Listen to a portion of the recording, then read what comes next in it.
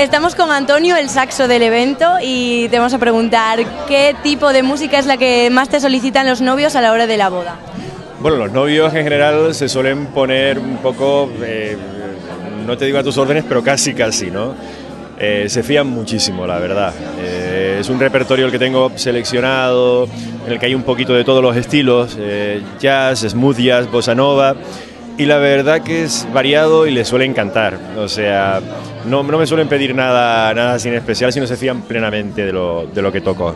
Vamos, que lo dejan todo en tus manos. ¿Y cuál es el momento de la boda en la que empiezas a tocar? El cóctel.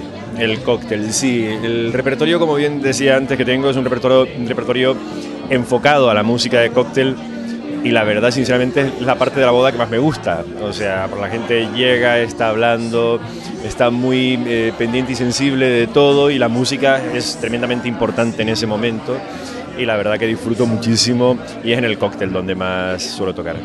¿Pero también te mueves en otros momentos de la boda o es solo te piden el cóctel normalmente? Eh, bueno, normalmente suelo hacer en el cóctel.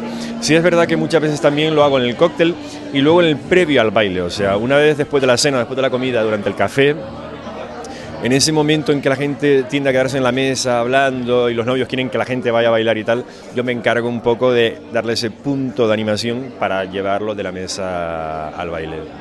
Bueno, y para terminar, ¿qué es lo más raro que te han pedido en una boda para tocar? La música más rara.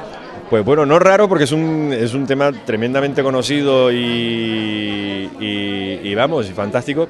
Pero fue curioso porque yo que toco con unas bases instrumentadas y tal, me pidieron en una boda si podía tocar el concierto de Aranjuez, pero a capela, o sea, sin bases ni nada, eh, con el saxo. Y la verdad es que quedó impresionante y me encantó. Me hizo mucha ilusión que me pidieran ese tema, la verdad. Pues muchísimas gracias por tu atención, Antonio.